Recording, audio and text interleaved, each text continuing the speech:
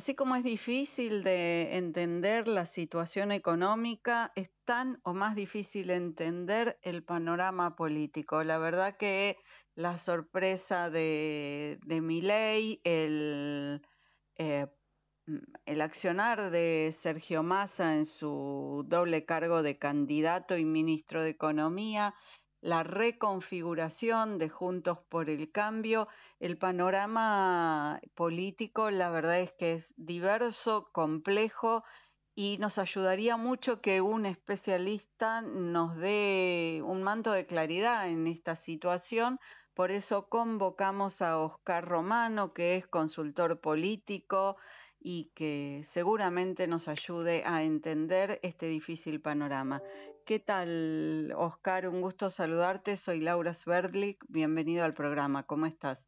¿Cómo estás, Laura? ¿Todo bien? Bien, bien. Quizás estoy un, poco confundida, ¿no? Porque... Creo que todos. La situación es compleja, es difícil.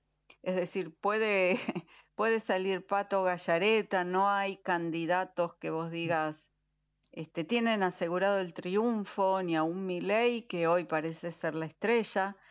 Em, ¿Cuál es tu, visión de esta situación de triple em, empate que, quedó después de las PASO? Sí, yo, la verdad que veo un escenario muy parecido a lo que fue el 2003 en las elecciones presidenciales, donde también había una sociedad totalmente fragmentada, eh, donde había mucho enojo, mucha bronca. Eh, recuerdo las elecciones del 2001, las legislativas, ¿te acordás? Que la gente ponía fotos de celebridades, ponía eh, fetas de embutidos, y que después eso se siguió trasladando al 2003 que produjo cuatro presidenciables que estuvieron muy cerquita de ganar. Teníamos por un lado a Carlos Menem, a Néstor Kirchner, que fueron los que pasaron a un hipotético balotaje, pero muy cerca estuvo eh, López Murphy, Carrió y, Adolfo Rodríguez A. Y este escenario del 2023 yo lo, lo veo muy parecido, con una falta de legitimidad de cualquiera de los candidatos que van a tener que buscar una vez que accedan al poder. Y la verdad que uno no sabe si las elecciones paso fue el techo, el piso de los diferentes candidatos. Entonces creo que la confusión generalizada que hay en la sociedad eh, también se ve en los candidatos que no saben quién va a ganar. Y eso lo, vive también la sociedad. Oscar, vos comparaste la situación actual con la que ocurrió hace 20 años exactamente en el 2003. En el 2003, en el balotage, el candidato que tenía más votos se bajó. Que era Carlos Menem. Que era Carlos Menem. Y así, sin necesidad de hacer elecciones, eh, asumió a Néstor Kirchner, que era el segundo candidato más votado. Tal cual. ¿Vos entendés que puede pasar algo por el estilo que este, Javier Milei, el que sacó más votos, que llegue un balotaje con Sergio Massa y se baje? Yo creo que ahí hay una relación más cercana con el tema de la legitimidad, que todos van a ir a buscar la legitimidad. Sí veo una diferencia respecto al, 2003, es que en el caso de Menem se bajó porque había un gran enojo por lo que fue eh, su gobierno, especialmente la última presidencia, entonces ahí iba a ser mucho más fuerte el voto contra Menem, más allá de que fuera Kirchner o Carrió o López Murphy el que hubiera sido elegido. En este caso, creo que no, está bien claro contra quién va a votar el electorado. Sí saben que puede votar a Milei, a, a, Massa o a Patricia Burrich, pero después hay una confusión, creo que en todas las encuestas se están transmitiendo eso, eh, que la gente dice, bueno, voy a votar a Milei, pero después en un hipotético balotage no sé a quién voy, a votar contra Burrich, voy a votar contra Massa si les toca a ellos dos en el balotaje. Entonces me parece que ahí hay una diferencia. Sí veo que hay una similitud en el tema de la legitimidad, que eso le va a costar mucho quien gane, ya sea Burrich, Milei o Massa, el balotaje, que yo creo que es lo que va a ocurrir. Y vos tenés, eh, así como te iba a decir una corazonada, pero siendo un cientista político, eh, tenés un, una hipótesis de cómo vamos a llegar al balotaje, quiénes van a... Si hay, primero, ¿hay alguien que pueda ganar en, primera vuelta? Y dos, ¿quiénes son a los que ves con más chance de llegar a un balotaje? Yo creo que hoy no hay candidato eh, posible que gane en la primera vuelta por esta fragmentación, por este escenario de, eh, no te diría de, tercios, sino te diría de un elemento más, que es el voto en blanco, que me parece que también se va a sumar. Hay que recordar que el voto de Grabois hipotéticamente va a ir a favor de Massa, pero yo no lo dejaría como una certeza. Lo mismo el voto a la reta. Hay que ver si va a Bullrich o va a, Massa y quizás vaya a Milei. Eh, entonces, ahí tenemos eh, eh, ese escenario y yo diría directamente que va a haber un balotaje.